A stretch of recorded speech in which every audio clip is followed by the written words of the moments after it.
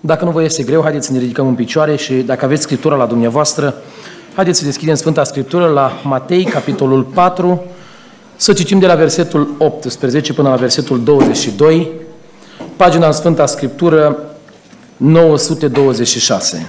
Matei, capitolul 4.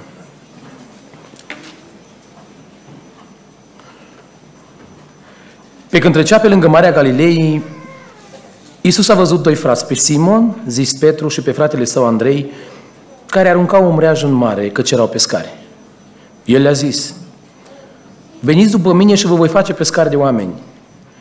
Îndată, ei au lăsat mrejele și au mers după el. De acolo a mers mai departe și a văzut pe alți doi frați, pe Iacov, fiul lui Zebedei, și pe Ioan, fratele lui, care erau într-o corabie cu tatăl lor, Zebedei, și își cârpeau mrejele. El i-a chemat.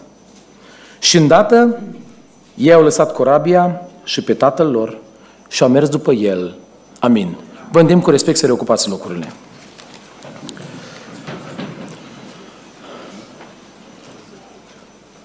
Dragilor, e o binecuvântare în seara asta ca să fim în casa lui Dumnezeu. Nu știu cât de mult dumneavoastră uh, prețuiți lucrul acesta, dar parcă n-aș vrea să se mai repete odată ceea ce a fost în pandemie.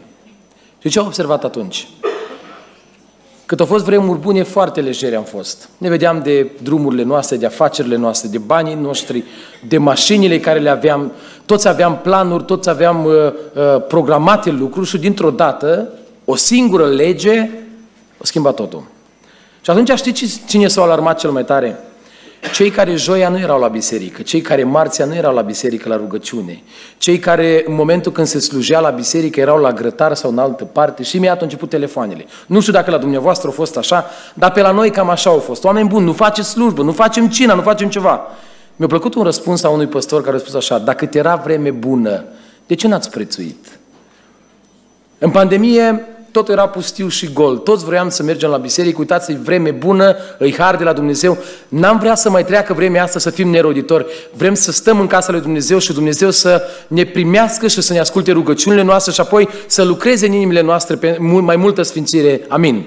Amin. Textul pe care l-am citit, oameni buni, un text tare simplu, dar de la care se pare că la prima vedere nu prea înțelegem mult. E vorba despre Isus care a întâlnit doi oameni, i-au chemat, i-au venit, au mai mers un pic Isus și mai chemat pe alți doi oameni care erau împreună cu tatăl lor și i-au chemat și pe ei și au venit la Isus și cam ăsta e textul din seara asta. Numai că aș vrea în seara asta, m-am uitat peste biserica dumneavoastră pe care n-am vizitat-o de foarte mult timp. Nu-i distanță mare, dar drumurile noastre nu s-au intersectat pentru că noi avem o anumită lucrare. Dumneavoastră aveți o anumită lucrare în care vă chema Dumnezeu și asta a fost totul.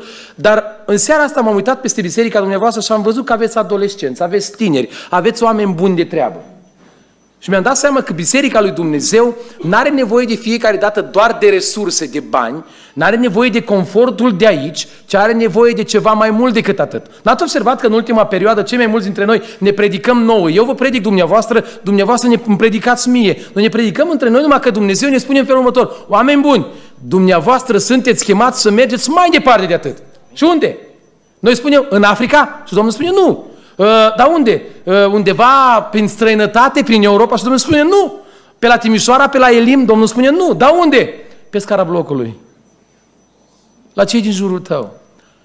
Și noi spunem așa, da, trebuie frate, trebuie abilități. Uite acum înseamnă că trebuie să iau Scriptura și mă duc pe scară. Și Domnul spune, nu. N-am spus cu Scriptura. Și noi spunem, bun, dar cu ce? Versete știm. Ioan 3 cu 16, fiindcă atât de mult, astea le știm bine și multe altele. Și Domnul spune, nu cu astea, dar cu ce? Cu faptele voastre. O, oh, cât de mulți oameni, oamenii care merg după Isus, dar stare puțini care rămân cu Isus. Nu v-ați uitat în Sfânta Scriptură? Eu m-am uitat la un moment dat în Sfânta Scriptură, în Ioan, în capitolul 6. Erau foarte mulți oameni care mergeau după Isus. Și ascultați ce spune versetul 2 în capitolul 6 din Ioan, și îmi place că l-afișați, ascultați câți oameni mergeau după Isus. O mare gloată mergea dup- mergeau după el, pentru că, citiți dumneavoastră, vedea semnele pe care le făcea cu cei bolnavi. De asta mergeau foarte mulți oameni. De asta ați observat că foarte mulți oameni merg după Isus pentru minuni. Erau foarte mulți oameni acolo și la un moment dat era o criză de mâncare și ucenicii au spus ce soluție să găsim.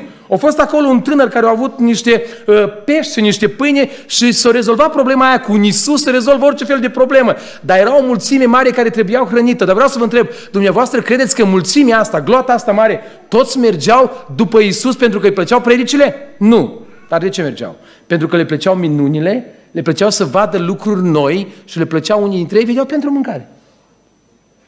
Îmi spunea cineva la un moment dat, mă duc la ser de rugăciune, frate, Domnul coboară, Domnul vorbește, dar la final se dă câte un sandwich și câte un măr, atât ai de gustos. Unii oameni după asta aleargă. N-ați observat că cei mai mulți dintre noi alergăm uneori după buzunarul lui Isus.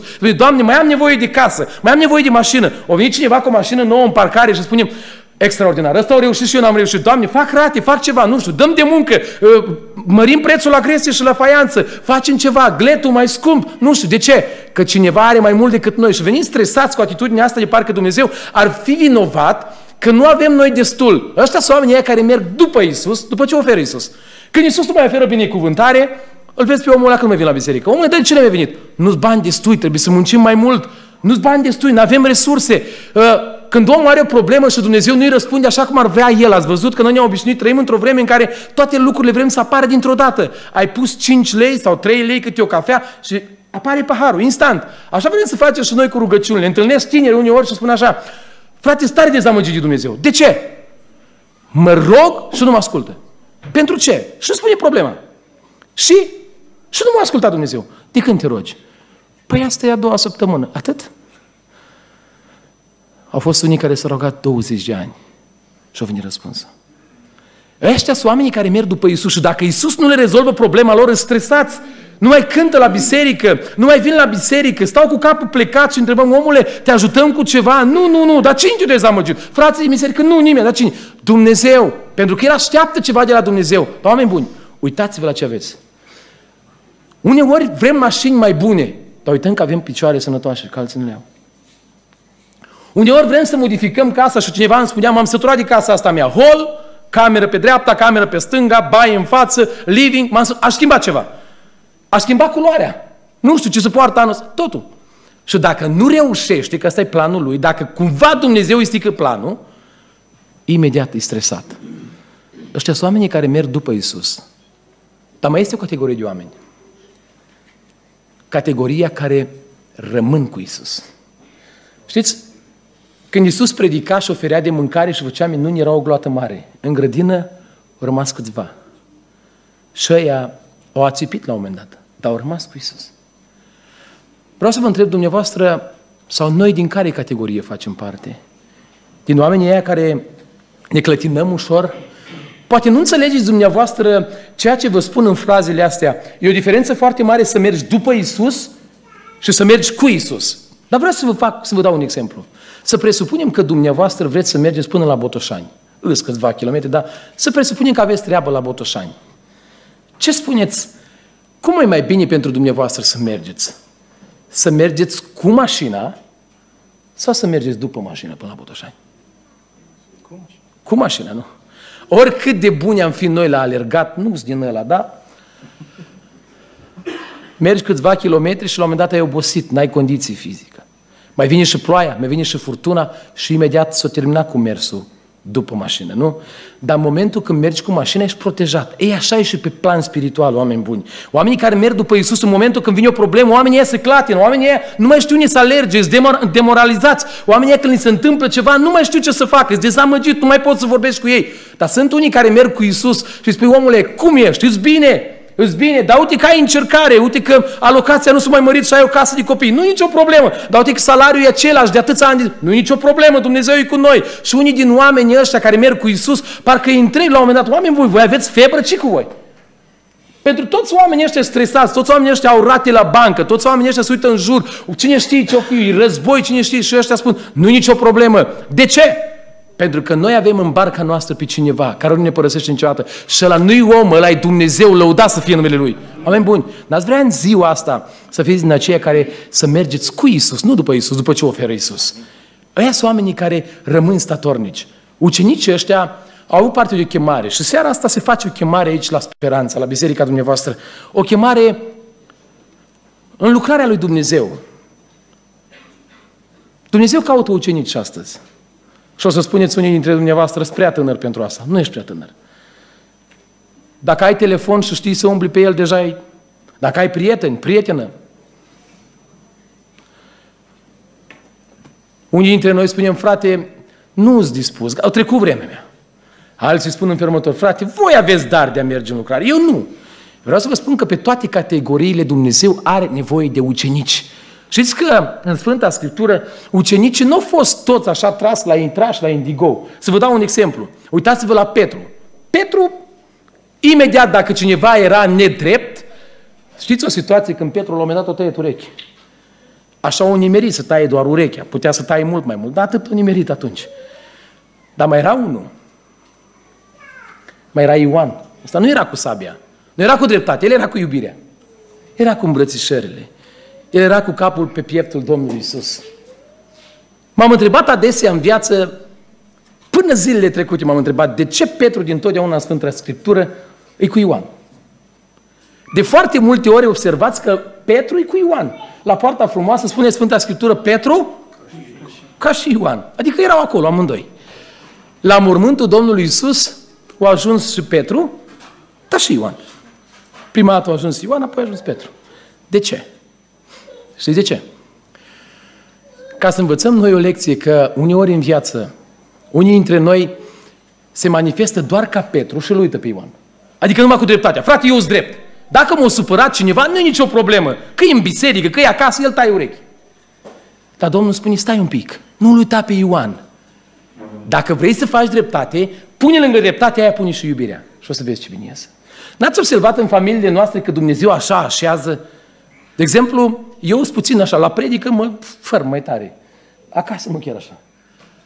Eu sunt mai calm, soția mea e mai impulsivă.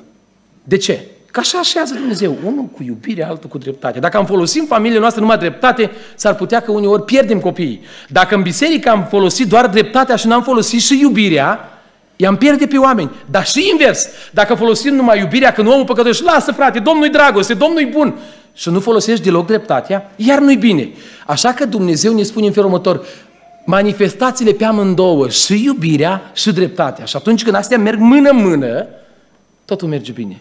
Mai era un ucenic pe nume Andrei, ăsta era cu soluțiile.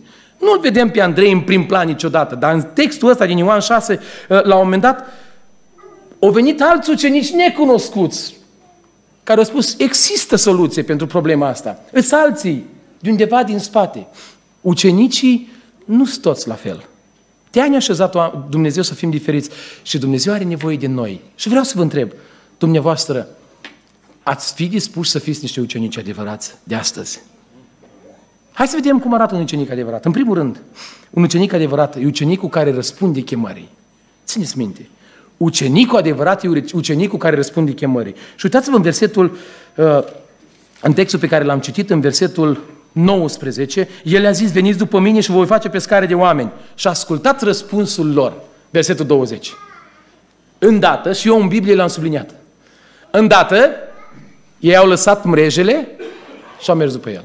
Vă întreb în textul ăsta, ce înseamnă cuvântul îndată? Cum îl puteți explica dumneavoastră? Adică, repede a spus cineva, adică în secunda 2, adică imediat. Asta înseamnă să fii un ucenic adevărat. Când Dumnezeu are nevoie de tine, să nu spui, Doamne, știi, am atâtea lucruri de făcut, am atâtea lucruri de realizat, n-am timp, lasă când o fi.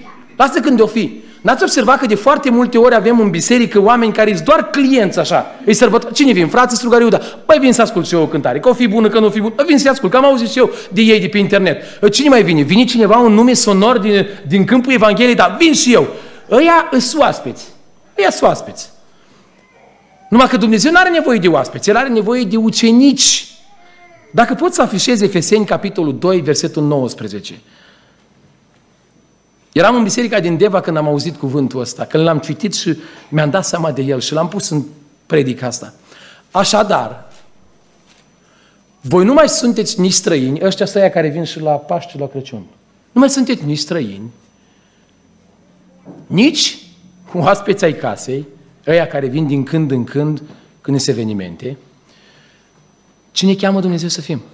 Ci sunteți împreună cetățeni cu sfinții și mergem mai departe. Oameni din casa lui Dumnezeu. Cum arată un oameni buni, un om din casa lui Dumnezeu? Știți cum arată un om din casa lui Dumnezeu? Un om din casa lui Dumnezeu, un om care se implică în lucrările bisericii, un om care pune bani la colectă, un om care se roagă, un om care se implică, indiferent unde îl chemi. Și chiar dacă nu-l chemi aici, el se implică, omul ăsta e din casa lui Dumnezeu. Sunt unii oameni care se prezintă doar la sfat frățesc. N-ați, n-ați observat când au dreptul, când au drepturile lor, oamenii imediat merg acolo unde au drept ei. Imediat. Când au îndatoriri, atunci nu-i pregăsim. N-ați observat când se oferă ceva la primărie, când se oferă ceva la primărie pe gratis, e rar, în campanie sau cine știe când o fi. Când se oferă cineva ceva la primărie, n-ați observat că oamenii merg imediat acolo și stau la coadă. Și dacă întrebi pe unul dintre ei, omule, dar ce faci aici în momentul ăsta? Ce cauți tu la primărie la ora asta? Nici nu-i deschis, uite, e ora 8 fără ceva. Ce cauți? Domnule, am venit că să dă ceva pe gratis. Pe gratis. Și vin aici că e datoria mea. E, e, e, e, uh, ceea ce oferă ei. Ceea ce oferă ei. E dreptul meu, domnule. Eu vin aici că e dreptul meu. Dacă l-ai întrebat pe unul, da, dar știi care sunt datoriile tale? Să plătești impozitul, ești la zi? Frate, lasă că vorbim în privința asta mai altă dată. De ce? Pentru că oamenii aleargă după dreptul lor, dar nu sunt la zi cu datoriile lor. Te-a chemat Dumnezeu să fii disponibil și să răspunzi la chemarea lui Dumnezeu. Și seara asta îți face Dumnezeu o chemare. Tu ești gata să răspunzi la chemarea lui Dumnezeu. Pentru că asta e categoria de oameni care îl slujesc pe Dumnezeu cu adevărat. Ăștia sunt cenici adevărat. Uneori găsim motive și m-am uitat în Sfânta Scriptură, a fost un caz când au fost chemați niște oameni la o cină, la o sărbătoare. Și unul dintre ei a spus în felul următor, domnule, n-am cum să vin. Au găsit motive. N-am cum să vin că tocmai ce mi-am cumpărat un ogor și acum mă duc să-l văd. Vă întreb ceva logic. Cine dintre dumneavoastră cumpără un ogor după ce a făcut actele pe el la notar, merge să-l vadă? Păi să văd unde merită să-l cumpăr, primesc autorizații, intravilan, extravilan. Cine face lucrul ăsta? Nu face nimeni. Fiecare se duce prima dată să vadă ceea ce vrea să cumpere și apoi oferă banii respectiv, nu? Altul a spus în felul următor, eu n-am cum să merg la sărbătoarea asta pentru că tocmai ce mi-am luat cinci perechi de boi și acum mă duc să încerc. Cine dintre dumneavoastră face lucrul ăsta? Acum nu se mai cumpăr car cu boi. Înainte era, dar acum cumpărăm mașini. Nu știu dacă te mai ocup cu mașini, dar cumpărăm mașini, nu? Cine a cumpărat o mașină și după ce a cumpărat mașina respectivă, merge cu ea la un mecanic și spune, domnule, am cumpărat mașina asta, am dat vreo 15.000 de euro pe ea, dar acum mă duc să văd dacă kilometrii sunt reali, dacă motorul merge, dacă nu ia ulei. Cine face lucrul ăsta? Nimeni. Din contra, eu mecanic cu tine, că să mai dau kilometri înapoi, să mai fac uh, anumite lucruri, nu, o aduc din Germania, nu știi ce ei, mergi să vezi prima dată ce cumperi și după aia, nu? Dar astea sunt motive. Și altul a venit și a spus în felul următor. Eu tocmai ce m-am însurat proaspăt și n-am cum să vin la sărbători, n-am cum să fiu implicat la asta. M-am însurat proaspăt. Și m-am uitat că și asta e realitate. Am observat tineri care la un moment dat merg în biserică și vin la repetiții de cor, la repetiții de grup, uh, de laudă și închinare, îți prezenți acolo până sunt soară. Îl vezi că e la rugăciune primul. În momentul când sunt soară, nu-l mai vezi la biserică. Îl oprește păstorul bisericii și îl întreabă, omule, dar ce s-a întâmplat cu tine? Nu te mai văd la biserică. Ce faci? De... Frate, nu mai am cum, tocmai m-am însurat. Bun, dar ți-ai luat un ajutor potrivit cu familia ta, tu poți mai degrabă să o slujești pe Dumnezeu. N-am cum, că cheltuielile sunt mai mari, că acum nu mă întrețin numai pe mine, am și soția. Bun, am înțeles asta. Mai trece ceva vreme și iar îl oprește. Omule, dar te văd din ce în ce mai rar. Tu tai din timpul lui Dumnezeu. De ce nu vii la biserică? Știi, noi avem și un copilaș acum. Și? Pe trebuie coșuleț, trebuie hăinuțe nu știu de care, trebuie multe lucruri, cărucior și alte lucruri. Că, frate, n-am cum să mai ajung la biserică. Acum, mai ales în lunile astea, e treabă, trebuie să mergi, trebuie să faci, trebuie să investești, trebuie să ne descurcăm, frate, că ne cheamă Domnul să facem. Da, dar de ce tai din timpul Domnului? Cu ucenici adevărat, știi ce fac? Îndată, lasă totul. Ce? Munca. Mai ce? Banii. Mai ce? Afacerea. O lasă pe locul 2 să se implice în lucrarea lui Dumnezeu. Oh, cât ne așteaptă Dumnezeu să fim disponibili la alta. Să fim disponibili să facem lucrarea lui Dumnezeu. Unii dintre noi spunem în felul următor, frate, eu aș face. Eu aș răspunde la chemarea lui Dumnezeu, dar spun în felul următor, Eu n-am chemare, frate, și n-am, nu, n-am resurse, n-am cum să mă implic. Vreau să vă spun ceva. Dumnezeu nu are nevoie de 10.000 de euro a dumneavoastră pe care nu-i aveți. Dumnezeu nu are nevoie de la dumneavoastră de ceva ce nu puteți oferi. Dumnezeu ne cheamă să răspundem la chemarea Lui cu lucrurile pe care le avem noi, că El ne-a dat totul, noi numai să umblăm în lucrarea Lui. Și o să spuneți, n-are cum, frate. Păi aș vrea și eu să cânt, dar îmi trebuie și mie un acordeon la 4.000 de euro. Stați liniștiți, nici eu n-am avut așa ceva. Mi-aduc aminte când eram copil. Undeva la 11 ani, a venit tata acasă și a spus că o să vă aduc un acordeon. Noi, când eram mici, aveam același ritm la fiecare cântare. Cântam cu mâinile pe piept. Orice cântare aveam acordeonul nostru imaginar și noi așa cântam. Tata se uita la noi și a spus, a spus o să ajungeți acordeoniști. Eu mă uitam cu ochii mari la el și așa i-am mari, dar mă uitam, ce acordeonist? Și vezi tu în mine la 11 ani? Eu atâta știam să dau de mâini. O mers la bunicul meu și o mers să luat un acordeon. L-a dus acasă. La 11 ani am început să trag de clapi, fratele meu, Sorin, a început să tragă de baș, stânga-dreapta. Am crezut că așa se cântă. Tata a spus că nu așa se cântă. Nu așa se cântă. Voi trebuie să învățați să cântați la acordeon frumos. Și i-am spus tata, da, dar știi, nu avem profesor. Și mi-a spus tăticu, nu aveți profesor? Nu, nici eu n-am bani. Și am zis, bun, cum facem? Învățați cea mai simplă cântare, poporașul meu. Mi-a arătat cu, și degetul cu care să începem cu asta. Atât o știu el. Și am început. Poporașul meu și am văzut cum merge. Erau iernile puțin mai grele ca acum. Și aveam uși din alea vechi cu perdea așa. Venea tata, când veneam de la biserică, auziam pe cineva care cântă la acordeon că face ceva, o floare, mă duceam, o țineam minte și munceam pe ea acasă, pe acordeon acasă, până mi ieșea floarea aia ca să pot să cânt și eu la acordeon. Se uita tata după perdea și vedea că eu mă chinui cu acordeonul și eram tot apă, vedea perdeaua la loc, făcea treaba afară el, doar ca să învăț la acordeon. O trecut vremea și am început să cântăm în biserică. La un moment dat a venit fratele Dicu Piu, dirijorul nostru de cor, mulți îl știți, poate suntem aici în zonă, și a venit și a spus, bă, oameni buni, voi ați început să cântați binișor la acordeon. Imaginați-vă la un copil de 12 ani să-i spui tu că cântă bine. M-am dus la tata imediat și am zis, tata, ascultă ce a spus dirijorul. Că noi cântăm bine la acordeon. Eram și grozavi acum. Numai că nu a spus ceva dirijorul. Vezi, dar acordeonul cu care cânți cântă fals. Aveam un acordeon, la un moment dat cântam, să blocau bașii, unul din noi dădeam cu pumnul să iasă bașul înapoi să putem cânta. Când cântam cu celelalte instrumente s auzea fals. Noi cu vocea ne mai armonizam. Nu cânta nici în do major, nici în re major, dar nici în re bemol. Cânta așa între, fals. Era dezacordat. I-am zis, tata, ce facem?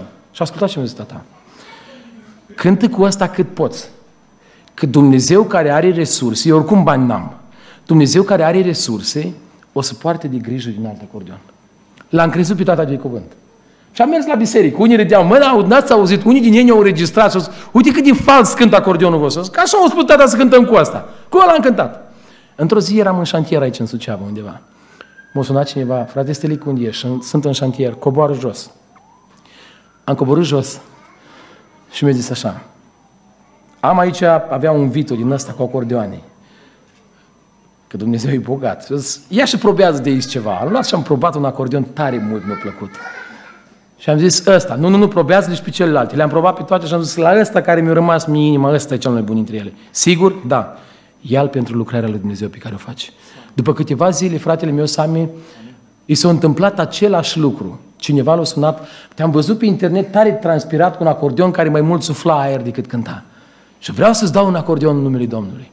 S-a uzat prima tură de acordeoane pentru că noi am mers în țară, le-am pus în portbagaj, au stat prin ploaie, cum, cum am cântat. Noi am continuat lucrarea. Cineva la un moment dat mi-a sunat și a spus, oameni buni, am ascultat o cântare pe internet, Doamne, am greșit înaintea Ta și eu tare mult am greșit înaintea lui Dumnezeu și Dumnezeu nu m-a lăsat, m-a iubit și atunci când eu am greșit. Și m-am uitat că în momentul când cântați, voi erați transpirat și depuneați efort și am zis, meritați niște acordeoane mai bune. Și a spus, voi căutați acordeoanele că eu le plătesc pentru Dumnezeu. Uitați-le. N-am plătit nimic pe ele. Costă mult. Dar Dumnezeu le-a pregătit ca să-L slujim pe El. Lăuda să fie Domnul. Oameni buni, nu mai spuneți că nu avem cu ce. Că vă dau un exemplu. Sunt lucruri care ne-a dat Dumnezeu și nu ne costă nimic și putem să le punem în lucrarea Lui. Știți dacă vă amintiți că noi am sărbătorit intrarea lui Isus Hristos în Ierusalim și în contextul ăla, uitați-vă că au fost oameni care au făcut ceva pentru Isus și i-au costat. Unul și-a dat măgărușul. Costa banii aia. Costa banii ăla. Altul, spune Sfânta Scriptură, că unii și-au întins hainele și alea costau. Nu știu, că poate erau și de firmă, nu? Le-au pus jos, costau hainele. Da, alții au luat ceva de pe margine, niște ramuri de finic. Nu au costat, nici nu erau al lor. Le-au luat și au făcut și ei ceva. Nu-i costa nimic.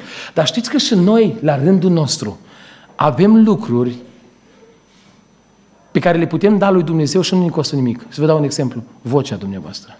Câți bani ați dat pentru ea? Nimic. Știți câți oameni sunt în lumea asta și fac exerciții și plătesc bani mulți ca să aibă voce și nu au. Și dumneavoastră aveți și n-ați mers poate de ani de zile răgușiți acasă de la cântare. Ați răgușit de la altceva, poate. Și nu-i costă nimic. Cântăm unii tineri dintre noi, cântăm toată energia mea, pun la dispoziția ta. Cât ne costă energia noastră? Bun, dar eu dăm Domnului.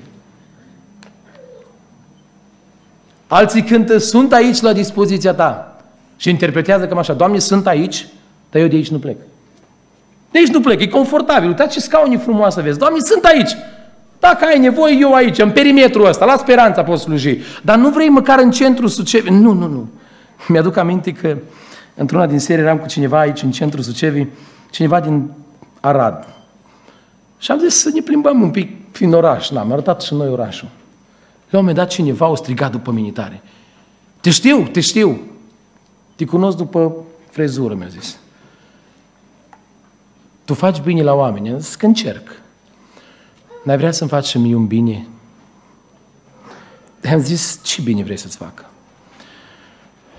Eu sunt undeva de la Băcești, frații mei cântă, voi ascultați. Am zis că da, îi ascult.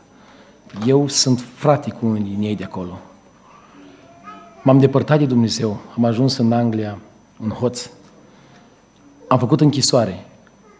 Am scăpat de acolo. Am venit acasă. Încerc să reabilitez soția și copiii. Acum soția a plecat la muncă și eu am rămas cu vreo trei copilași, doi din ei cu pampers. N-am nici bani de pampers, dar n-am nici de lapte praf și nici de mâncare, nimic. N-ai vrea să mă ajut să cumpăr ceva? Și a zis, da. Te mergem aici la profi, este un profi non-stop, îl știți, și am cumpărat și pampers, și lapte praf, și am cumpărat tot ce au avut nevoie. Și am zis așa, uite, toate astea ți le dau în numele Domnului, dar cu o condiție.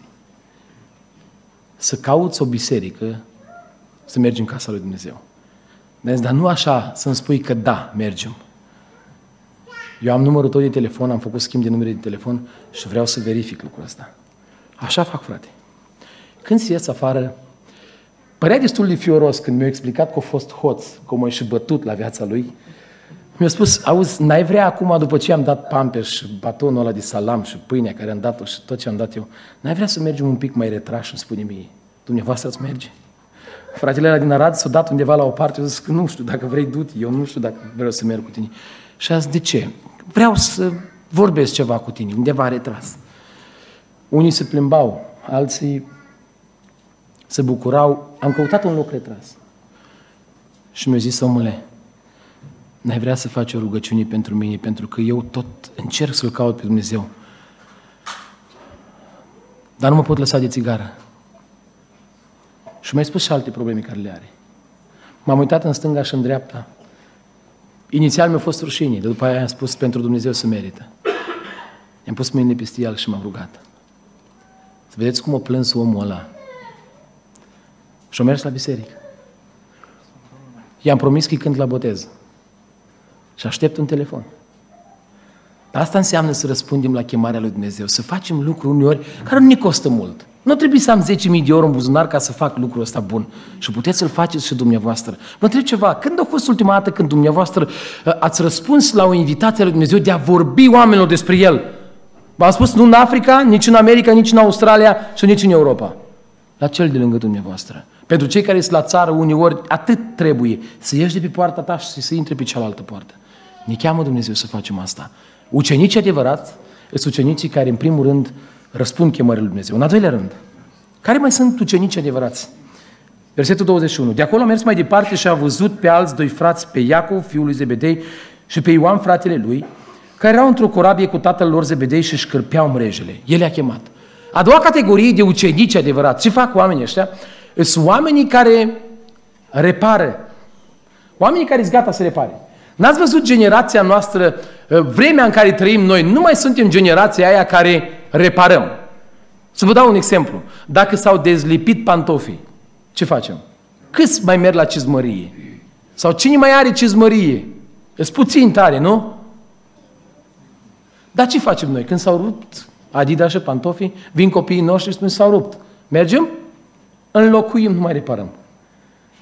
Trăim într-o generație în care înlocuiesc tot, schimbă imediat. S-au dezlipit papucii, schimbă.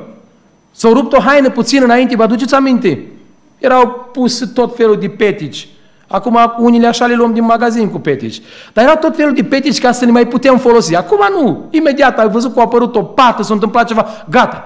S-a stricat display-ul la telefon, vine copilul tău și spune acasă, mama, tata, mi s-a stricat display-ul la telefon. Și costă mai mult să schimb display-ul decât să schimb telefonul. Și ai găsit un alt telefon? Da, care? iPhone 14 Pro. Înțelegeți? Pentru că ne plictisim repede, imediat vrem să luăm ceva extraordinar, să înlocuim. Și credem noi că din punct de vedere spiritual așa se face. Ne-a greșit cineva? Gata, frate. Dacă ne-a greșit, nu mai reparăm relații.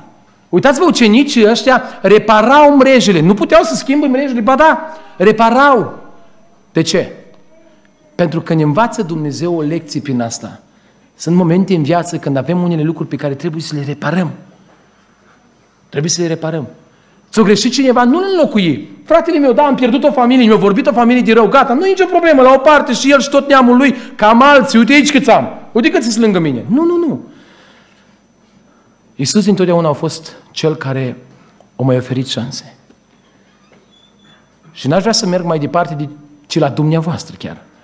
Vă amintiți de câte ori am greșit înaintea lui Dumnezeu și când credeam că Dumnezeu ne-a părăsit, Eu ne-a lăsat har, ne-a mai binecuvântat, că Dumnezeul nostru mai oferă șansă. Lăudați să fie Domnul.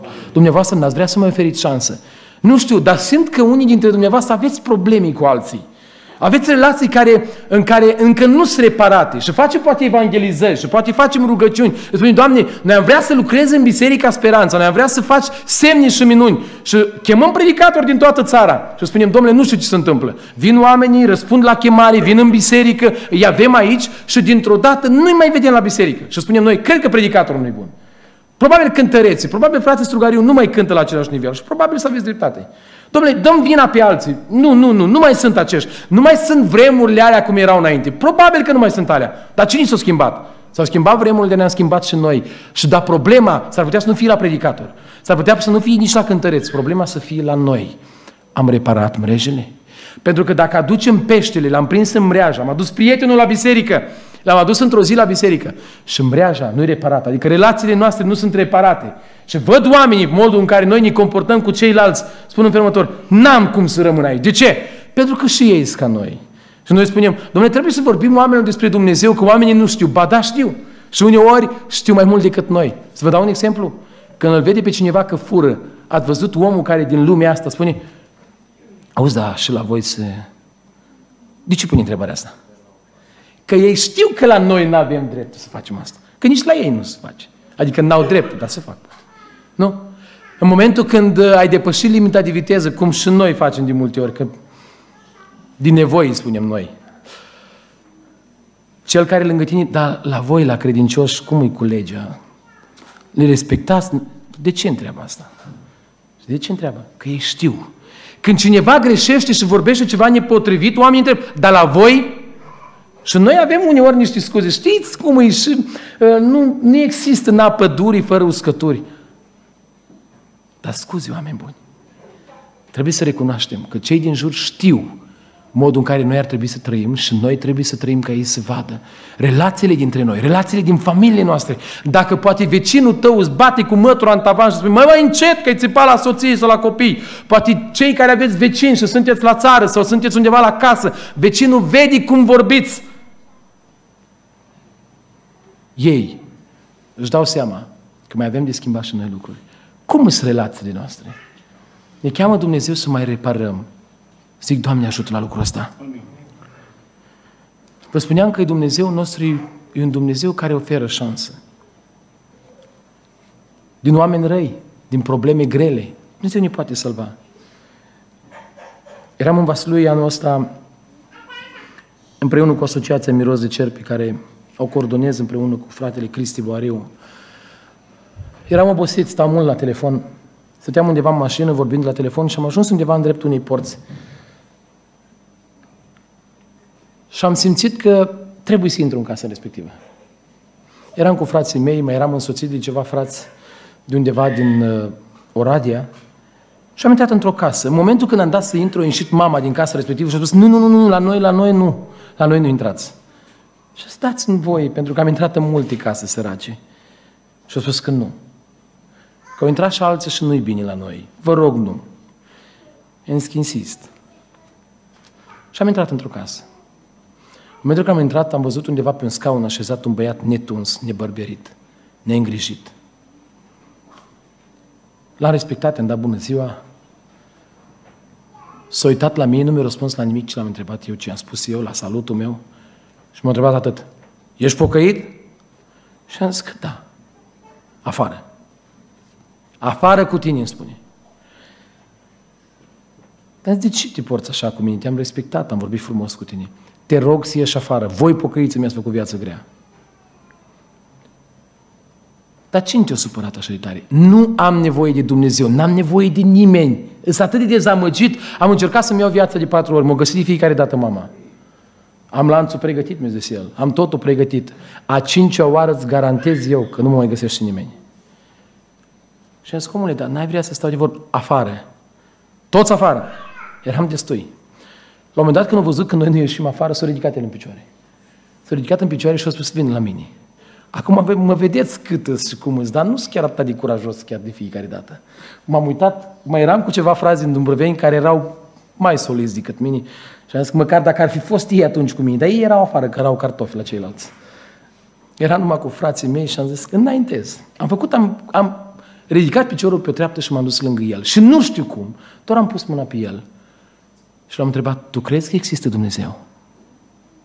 Din omul ăla furios, dintr-o dată s-a albit la față, a început să plângă. Și a zis, da, eu cred că există Dumnezeu. Și l-am întrebat, când a fost ultima dată când i-ai spus ceva la Dumnezeu? Și a ascultat ce mi-a zis el. De trei luni de zile n-am mai spus nimănui nimic, n-am mai vorbit cu nimeni o vorbă. Doar noaptea ies afară, n-am ieșit deloc afară, m-am mai martor aici, n-am ieșit deloc afară, sunt dezamăgit, nu mai vreau să mai trăiesc. Doar noaptea ies afară, mă duc până în grădină, ies până la poartă, în momentul când mă ia frica prea tare, fac câte o cruce și atât. Și am întrebat de ce. Și zis, niciun lucru bun nu mi se întâmplă mie. Eu n-am motive să mai trăiesc, niciun lucru bun nu se mai întâmplă mie. Și am întrebat, dar uh, tu respiri? Și el a zis, da. Și asta nu e un lucru bun? Că mulți au plătit bani grei ca să poată respira și nu pot. Și a zis că, bă, da, e bine. Și am zis că îți pot enumera mai multe. Și el cum se uita cu ochii mari la mine și speriat și a început să plângă, a început să strige mama lui la mine și a zis, stop, stop, stop, spunem ce ai făcut la băiatul meu. Și am zis că nu i-am făcut nimic, Doamnă. Ceva s-a întâmplat pentru că de trei luni de zile băiatul meu nu mai fost așa sensibil, nu mai plâns, nu mai vorbit atât din cet, întotdeauna a fost agresiv. Ce ai făcut? Și ce am spus atunci? Nu i-am făcut nimic, nici măcar o rugăciune n-am făcut. Am rostit peste el în nume numele lui Dumnezeu, pentru că numele lui Dumnezeu este putere, lăudat să fie El. Asta am făcut în momentul ăla. Știi ce s-a întâmplat acolo? Minune. După câteva săptămâni de zile, l-am întrebat, vrei să mai stăm de vorbă? Și a spus, dacă tu vrei să stai de vorbă, noi vrem să mai stăm de vorbă. După câteva săptămâni de zile m-am dus pe acolo. Nu mi-a fost frică să intru în casă. M-a așteptat el la ușă, vin încoa aici. Am mers. Mi-a arătat căruța, calul, animalele care le are. L-am întrebat, unde e lanțul? Zic, e la căruță, e la treaba lui. Și de ce s-a întâmplat acolo minune? Că Dumnezeu mai oferă șansă. Acolo nu există, unde nu există șansă. Ucenicii adevărați, în primul rând, sunt ucenicii care răspund chemări. În al doilea rând, ucenicii care știu să mai ofere șanse, să mai repare relații, să mai dea șansă celor care au greșit și să meargă înainte. Și în ultimul rând, ucenicii adevărați sunt ucenicii care sunt gata să lasă totul. Ultimul verset spune așa. Și îndată ei au lăsat corabia și pe tatăl lor și au mers după el. Asta înseamnă că au lăsat tot. Un ucenic adevărat, oameni buni, își lasă timpul lui. Își lasă resursele lui deoparte. Își face timp pentru Dumnezeu. Uitați-vă la slujitorii dumneavoastră și alții. Uneori primim telefon după 12 noaptea. Uneori când vrem să fim liniștiți, să stăm cu familia, uneori primim un telefon și trebuie să plecăm. Trebuie să facem o rugăciune, trebuie să fie o ungere cu un de lemn, trebuie să fie o consiliere, trebuie să reabilităm pe cineva, trebuie să ajutăm, trebuie să încurajăm, trebuie să îmbărbătăm. Și spunem noi, da, fraților, dar voi sunteți ordinați. Dar știți că și dumneavoastră puteți să faceți ceva. Era Lazar la mormânt și la un moment dat când a ajuns Iisus la mormânt, a spus în felul următor, Lazar ăsta o să învie. Oamenii dezamăgiți au spus, o să învie, dar în ziua de apoi, dezamăgiți, nicio șansă.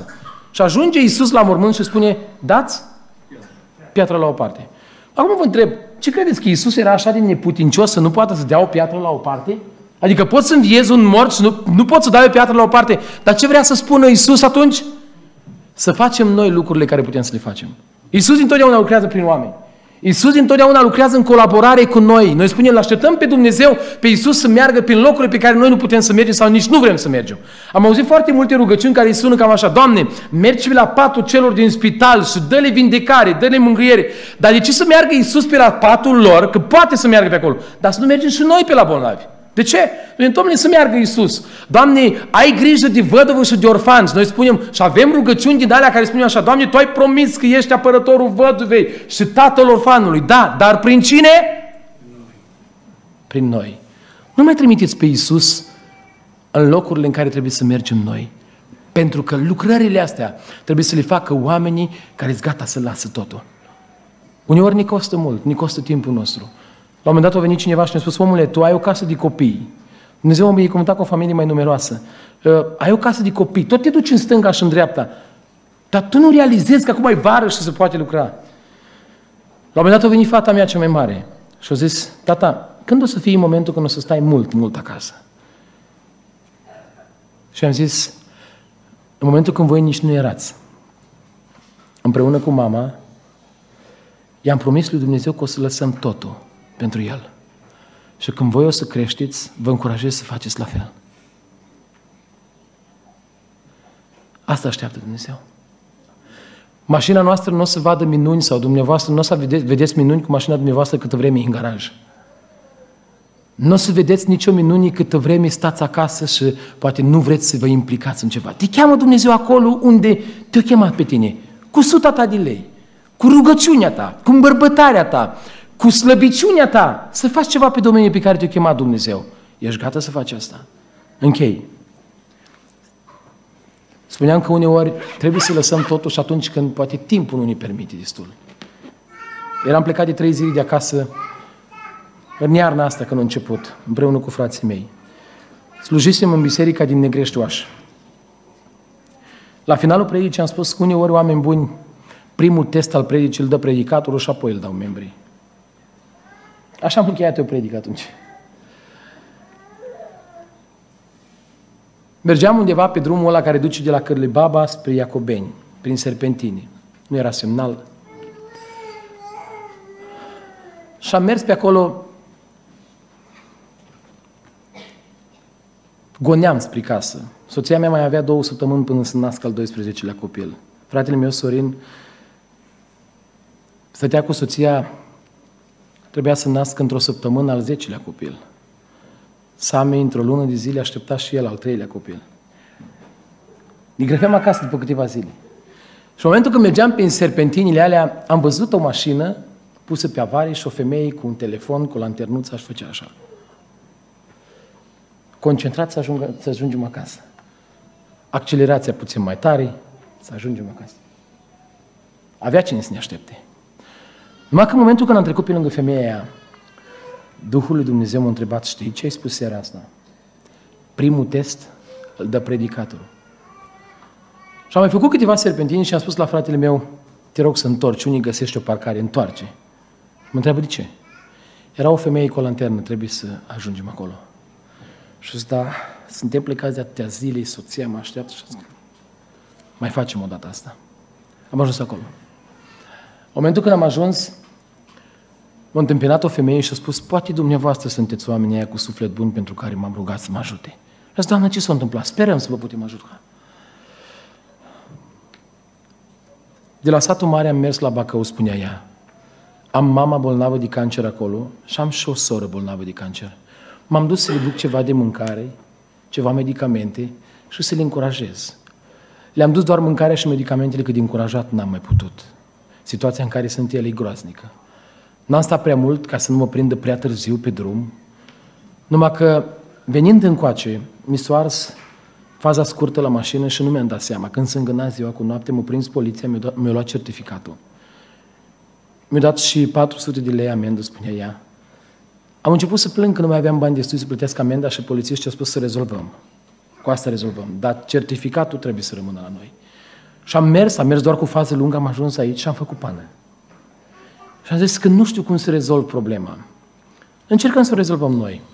Am scos roata de rezervă, aveam un Renault tare greu. Nu știam. Și noi știm să facem puțină mecanică. Nu grozav, dar știm. Dar atunci nu a mers nimic. Nu știam de ce o durat aproape o oră să dăm o roată de rezervă jos. Eu îi spuneam femeia acestea despre Dumnezeu și frații mei lucrau. Și am spus cât e de bun Dumnezeu, mi-a spus că e profesoară, că lucrează în învățământ și ne-a explicat mai multe lucruri. La un moment dat tot se oprea și m-a întrebat, dar de ce faceți binele ăsta? Uite cât durează, că e frig afară. De ce faceți? Și am spus, facem pentru că noi trebuie să stăm la dispoziția lui Dumnezeu, că Dumnezeu a dat totul pentru noi și vrem să vă dovedim că Isus vă iubește, ne-a iubit și pe noi și vă iubește și pe dumneavoastră. Să extraordinar, nu cred așa ceva. La un moment dat, frații mei îmi spune, gata, am dat roată de rezervă, în sfârșit. Și au spus, dar mai este o problemă, îmi spun frații mei. Ce? Nu avem cheie. Cheia de la Fordul nostru nu se potrivea cu aia de la Renault. Am zis, ce facem acum? Știi ce am făcut? M-am dus pe linia albă. Puțini mașini trec pe acolo. Și am stat cu mâna întinsă. Am stat aproximativ vreo 10 minute și am așteptat. Când am văzut faruri, m-am bucurat. Am zis, Dumnezeu trebuie să facă ceva. Și am întins mâna și într-o dată oprește mașina. Dă geamul în jos și spune, frate Stelică, tu ești. Am zis, pă, oameni buni, de unde sunteți? Suntem din Botoșani, mergem exact în biserica în care ai predicat tu seara asta. Te-am văzut live. Extraordinar. E bun că mergeți la biserică, dar vă întreb, aveți chei de roți? Da. Care e dimensiunea? Eu spus care, asta ne trebuie. Au schimbat roțile. La un moment dat, a venit unul din frații mei și ne-a spus cauciucurile la femeia asta la mașină nu sunt bune. M-am dus în mașină, am luat niște bani și am spus, Doamnă, vine iarna. Cauciucurile astea, nu aveți cum să mai circulați. Uite, aveți aici bani de cauciucuri, de toate patru cauciucuri, dar și de bani de mers la vulcanizare. Și o să, nu se poate, dar eu sunt pregătită cu bani, nu se poate. Vreau să fac eu pentru dumneavoastră, pentru binele care le-ați făcut. Nu, nu, nu. Dar de ce faceți asta? Pentru că Isus vă iubește și noi vă iubim pe dumneavoastră. E imposibil așa ceva. Nu se poate așa ceva. Însă vă rog tare mult. Au luat, au acceptat banii. Eu mulțumit, o mers în mașină. În momentul când o mers în mașină, le-am spus fraților mei, îmi pare rău. Mai aveam o frază să eu zic la femeia asta, dar am omis să eu zic, nu știu de ce am amânat. Și în momentul când eu vorbeam cu frații mei, o văd pe femeia asta coboară din nou din mașină și îmi spune, domnule, nu știu de ce, dar trebuie să vin să vă mai mulțumesc odată. Și a zis că nu, nu, nu, opriți-vă. Nu v-ați coborât degeaba jos. Când părea rău că nu v-am mai spus o frază și acum Dumnezeu mi-a dat oportunitatea și vă zic, spuneți, domnule, orice. Vă rog tare mult să vă uitați la numărul la mașina dumneavoastră. Avea numărul la mașină Rai. Uitați-vă la numărul dumneavoastră de mașină. Și am spus să vă ajute Dumnezeu și ajungeți acolo unde scrie pe numărul la mașină. Și dumneavoastră și noi. Să vă luptați atât de mult cât să ajungeți acolo, să ne întâlnim acolo. A început să plângă și a zis așa, nu o să uit niciodată binele ăsta pe care dumneavoastră l-ați făcut. Mi-a dat numărul de telefon. Dar mai mult decât atât, nu o să uit fraza asta. Aștept din zi în zi. Poate să primesc un telefon de la satul mare, așa cum am primit și altă dată. Să se mai adaugi în suflet pentru cer. Și dacă se va adăuga, îi mulțumesc lui Dumnezeu, dacă nu, îi mulțumesc lui Dumnezeu că m-a ajutat să fiu disponibil, să-mi fac timp pentru asta. Oameni buni, nu mai așteptați ca alții să facă și noi doar să-i admirăm. Nu mai așteptați ca alții să facă și noi doar să ne uităm la ei cum lucrează. Ne cheamă Dumnezeu pe noi personal.